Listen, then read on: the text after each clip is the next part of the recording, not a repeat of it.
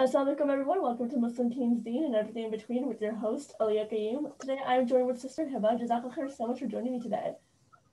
What Yaki, it's so good to be here. Thank you for having me. Mm, of course. So do you mind giving me a brief introduction for those of the viewers who may be interested and want to know more about you? Sure. Well, my name is Heba Subeh-Hyder long name, long last name, I know.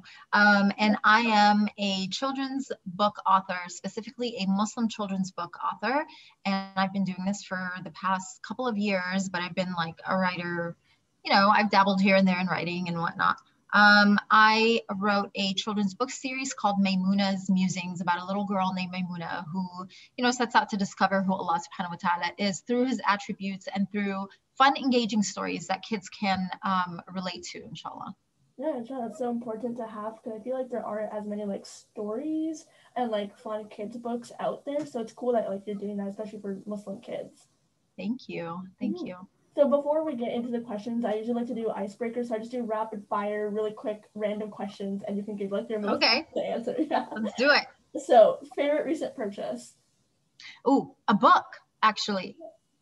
Yes, um, it's called the Angel series by Imam Dr. Omar Suleiman. Oh wow! Oh yeah, he's like so famous. like, yeah. yeah, read his books too. They're they're amazing, mashallah. Oh, that's great, mashallah. Um, on the topic of that, what's your favorite book? Oh God, um, I don't have one favorite book. I have many actually, and um, a couple by author Asmaa Hussein, A Place of Refuge, Temporary Gift. I have, you know, uh, some that I love by Sheikh Yasir Qadhi too, like Lessons from Surah Al-Kahf, and um, yeah. So a Quran, of course, mm-hmm. one of my top ones, my top one. Yeah. But yeah, Alhamdulillah. Yeah, wow, that's great. Um, and what's one thing that you don't understand?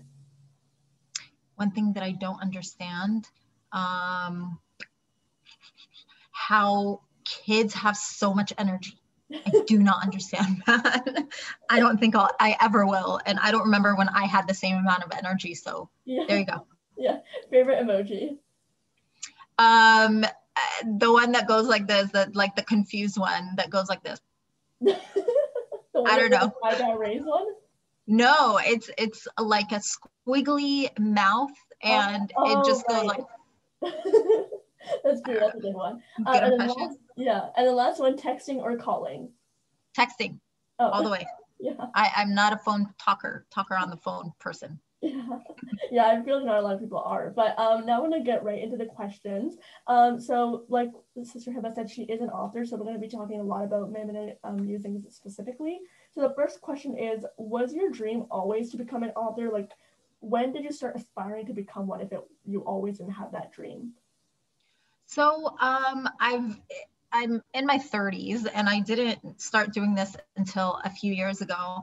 Um, my dream has not always been to become an author. It has been to do something within like um, I, uh, my dreams changed throughout the decades. And so at first I wanted to be like a stay at home mom. And that was really my first dream ever, which alhamdulillah I've gotten to do for several years. Um, then I wanted to become a, an English teacher actually.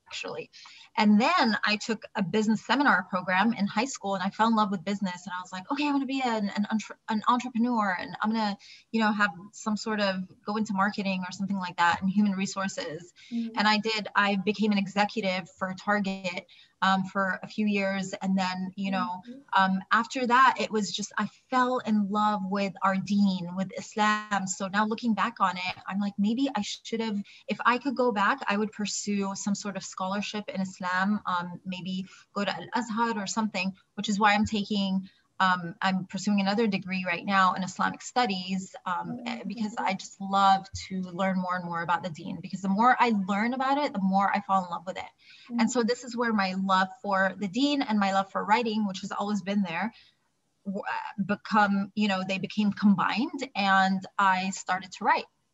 Wow, that oh, mashallah, that's amazing. Like just it's so true. Like I feel like the more people learn about deen because our judgments can be clouded by like the what people say on the outside. So when you genuinely learn about it, it's like you then start to fall in love with it more. So it's so cool absolutely that initiative. Yes, absolutely. Alhamdulillah. Um, I, I and I just wanted to kind of like give that and share that love that I have for our Deen for Allah subhanahu wa ta'ala with you know all our children. Mm, that's so important. Um, and the next question is did you try, did you find it difficult trying to find a genre that you wanted to focus on or did you kind of already know as soon as you knew you wanted to become an author? Um, so I there were factors behind why I chose to become a Muslim children's book author. And one of those factors were that I learned that people were leaving religions in droves, right? And um, because for the main purpose that they did not know who Allah subhanahu wa ta'ala is. And so to me, that kind of broke my heart. And I was like, I can't imagine my kids leaving Islam because for this reason, because if everybody knew Allah the way that I know Him, they would never leave this beautiful religion. And so that's where I decided to become a children's book author. But there are other, you know, um, genres, inshallah, that I want to venture into in the near future, inshallah. Um, if you can say it, like what are some of the genres that you're looking into?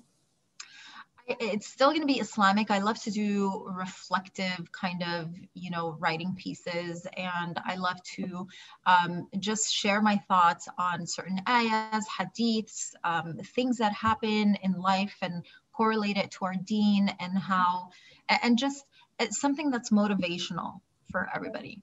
Yeah, honestly, like motivational books are so like big too now. So it's like that's honestly a great genre to make it. Yeah, absolutely. Um, and how did you come up with the idea of Maymunah Musings? So Maymunah's Musings Sorry, was I like completely butchered the name. That's okay. You're not the first one. Also, thank you for not thinking my name is Maymunah, which a lot of people have confused that. Um, uh, Maymunah's musings came from, you know, what I had mentioned earlier that I want to share with children how awesome Allah subhanahu wa ta'ala is. And once I heard that, that people were leaving religions because they don't know who Allah subhanahu wa ta'ala is, I was like, no way, I can't just write one book. I'm going to write a series about names of Allah, about Allah's attributes, and, and convey the message in a way that's uh, like understandable for kids these days and not preachy and not anything like that. It's not like, hey, this is a lesson you need to learn, but like just a fun story that they can, that has a subtle moral in it, you know, and that will leave them like as they finish the story, they'll just have more and more love for Allah in their hearts. And alhamdulillah, I've been able to accomplish that for, you know, most, if not all kids that have read my books. Alhamdulillah. Oh, oh, oh mashallah, that's great. And it's like, you're right about like not making it like preachy because it's like, if you even see TV shows on like Treehouse or whatever, it's like they're not doing like they're not scolding you or they're not like talking you down to you. It's like, oh, right. like we're learning together. And so I think that's cool how you have that with your series too. Thank you. Mm-hmm. And how did you find an illustrator, an editor, and team, like the whole just team for Maymunah Musings? So, being completely green to the industry, actually, I thought that all you had to do was write a manuscript and submit it to publishers here and there and whatever. I didn't even have a clue about self publishing. And I looked into it and I'm like, this is definitely not the route for me because I did not have time for it. And there are all these self publishing authors, mashallah, that have done an amazing job. But, you know, I chose the traditional route. Um, you write the manuscript. This, these are kind of the steps. You write the manuscript, you submit it to a publisher. The publisher takes a look at it, and the publisher decides whether or not it's good enough to be published. And when I heard a call back, I heard a call back. When I received um, a call back or a message back from my current publisher, you know, she's like, it, it looks good. It just needs a few changes here and there and and whatnot. So you have to find an editor. And my recommendation is get your manuscript edited by a professional who specifies in your field. And so I'm not just going to look for any editor who is, um, you know, just, hey, look at it for grammatical errors or anything. No, but this editor has to be experienced in children's books, in writing children's books, in editing children's books. And you know picture books or story books there's different types too and um, find the right editor get your work edited pay the money to get it uh, you know quality to get quality editing done because our children deserve good quality books honestly and um, we would do them a great disservice if we do not get this crucial step done. Mm-hmm. Uh, Illustrator for me, I found my Illustrator. Honestly, illustrators are pretty expensive, and so when my my publisher gave me a list of some illustrators I could look at and consider, I was like, this is definitely out of my budget. Like, there's no way I can be able to afford that. And so I said, well, I'm gonna go and um, actually, a friend of mine gave me that idea. I went to my college and I went to the Muslim Student Association and I was like, hey, do you guys have any aspiring illustrators in your midst or graphic design students or anything? And then they referred me to my current illustrator and I saw her work. I fell in love with her work and I hired her. And so now we work so well together. Alhamdulillah, she really made my vision come to life. Yeah, honestly, the university idea is so great because it's like going or even going to college, university is like those students also need experience too. Yes. So not only is it benefiting you, it's also benefiting them and helping. Absolutely. Them. So that's honestly great that you did that. And like even just thinking about it, like ed- editing is we don't realize how important it is because it's like we like our work to us is just amazing and we sometimes don't catch those mistakes that other people can. So like yeah. investing your money into a good editor is probably like very important yeah, it's one of the most crucial steps to take when you write a children's book because, mm-hmm. again, uh, I mean, our Muslim kids are amazing, wonderful kids, and they deserve the best, and we yeah. want to give them the best. And this affects their deen actually. So if you see a children's book and it's written like, without a care and it's not quality work they're not going to care about it they're not going to want to pick it up and learn from it and you know they're not going to love it as much as they love other books that they find in their schools or libraries or what have you. Right, exactly. It's not they're like they're not gonna be drawn towards it. So that definitely makes sense. Um, exactly. but my next question is what was the biggest failure that you faced when po- like making maybe the musings and all just the things that went into it? Um, so I don't want to call things um failures per se you you'll for sure run through um, come through some you know failures and challenges and whatnot but there are mistakes that i've made.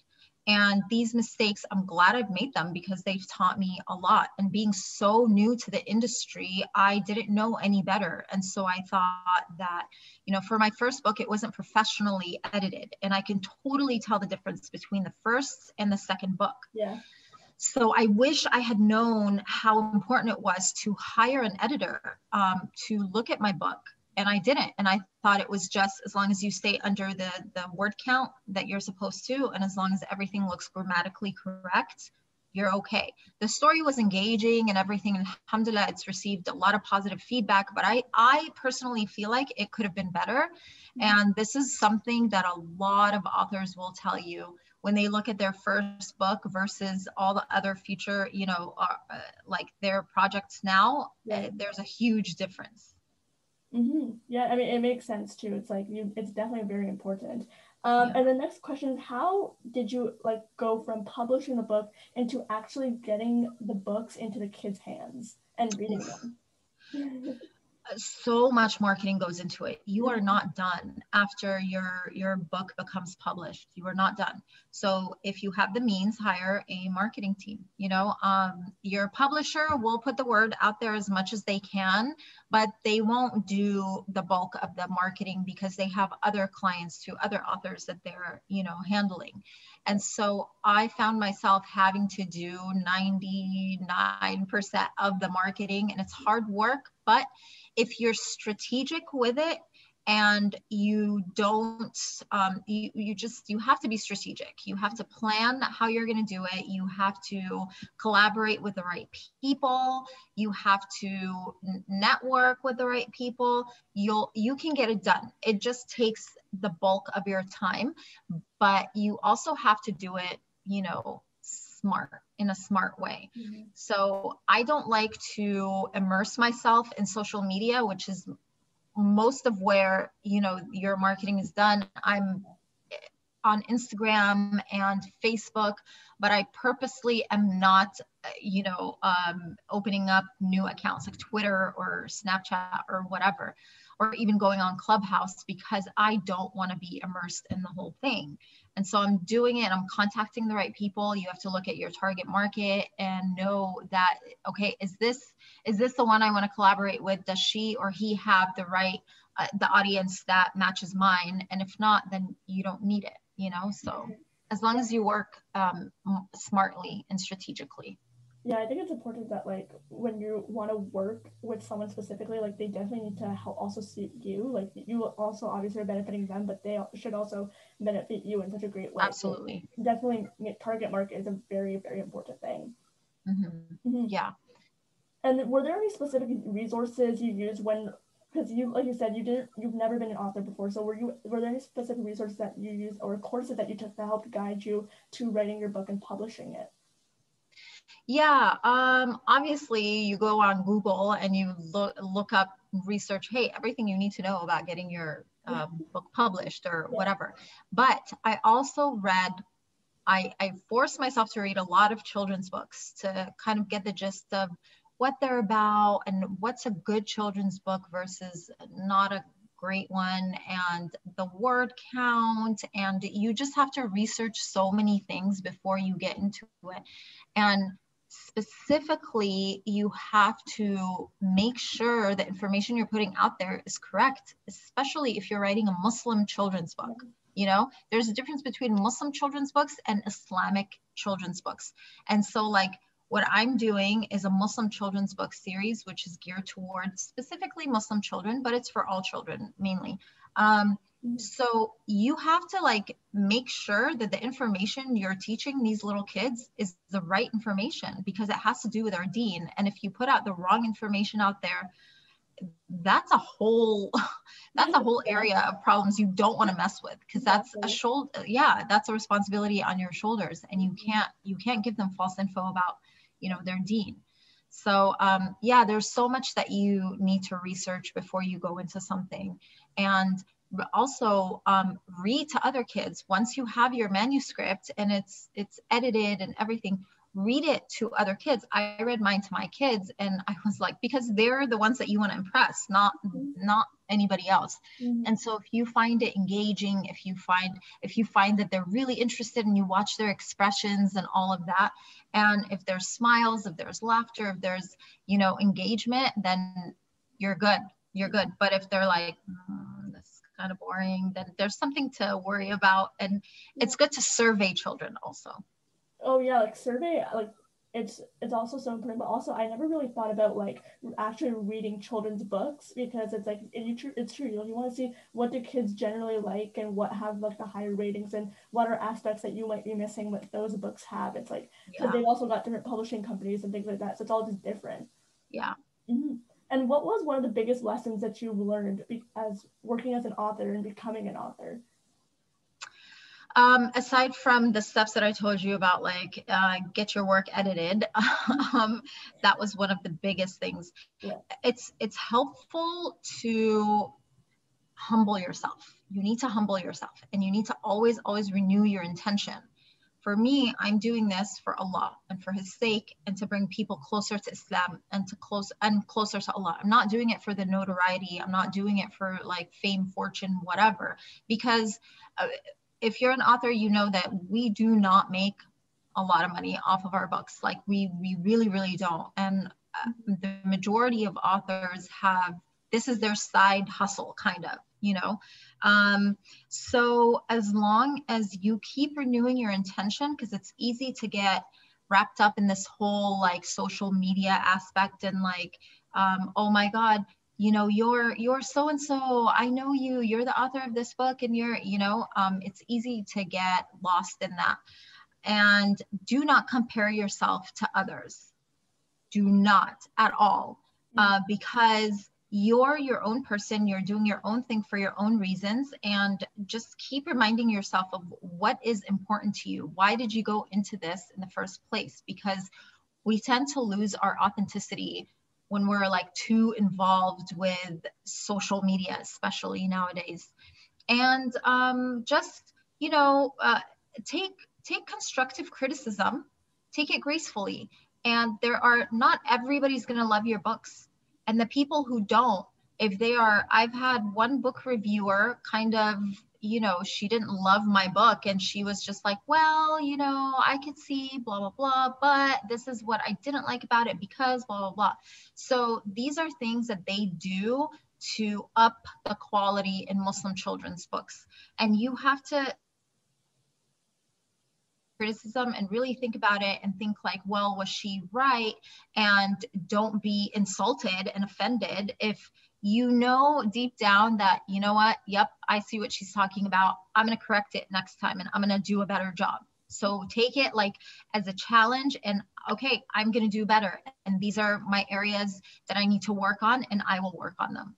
Yeah, honestly, criticism could probably be one of the hardest things to take because we all think that we're good at taking criticism until that criticism comes, and then oh, we're yeah. just like so annoyed at like at the person and we're insulted. So it's like it, but it's such, it's also so important because it's like again, like I said before, you you don't see sometimes your mistakes and need other people to catch them. Yeah, it's a learning opportunity for sure, and you have to take it as that. Um, and you can't be too proud and too, you know, not that don't be confident obviously be confident in your work and but put out quality work uh, don't be too proud to not be able to take constructive criticism. I'm not saying criticism I'm saying constructive criticism. Because there are people that are going to troll you and there are people that are going to be like well i don't like your book it's stupid you know like I, i've never had someone say that to me. But y- you'll be able to tell mm-hmm. you know the difference between these types of criticisms. Yeah. and honestly they they do it with good intentions and they're they are good people and i'm so and grateful to have met this community full of writers and and you know reviewers and editors and all of that because we are all working together to build one another up and to better this ummah. Wow, yeah, that's amazing. That's just much everything that the fact that you guys are doing this as a community and really the, your mission statement is so strong. So Jazakallah so much, Sister Heba, for joining me today. Um, where can everyone find you? Where can everyone buy your books? You know, all of that jazz. Key, thank you so much for having me. So um, go to maymunahsmusings.com website to order my books or follow me on Instagram at maymunahsmusings, Instagram and Facebook, and I'll have all the information that you need to know on there, inshallah. And again, thank you so much. It was such an honor and pleasure speaking with you. No, it was just as much of a pleasure. So, like, thank you so much. I'm sure people have learned so much from this, even whether they're an author or not. And also, all the Sisterhood Heba's links that she just mentioned will be in the description along with camps. And inshallah, we'll see you guys all next Thursday. Assalamu.